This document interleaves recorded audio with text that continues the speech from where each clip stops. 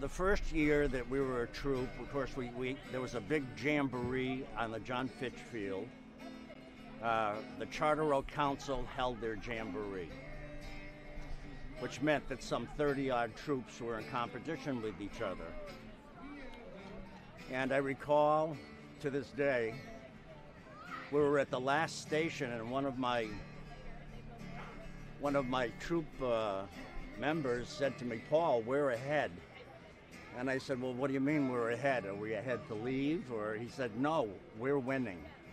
He said, "If Doug, Fil- if if, if uh, Filkins wins this thing, we've won the jamboree." Well, of course, that was pretty big stuff because when we paraded in town, when you had parades, Troop 149 had hundreds of streamers from their flag, and uh, Troop 8 had less, and we had none. Uh, Filkins, in fact, did win his uh, contest, and we were the best troop in the Charter Oak Council that year.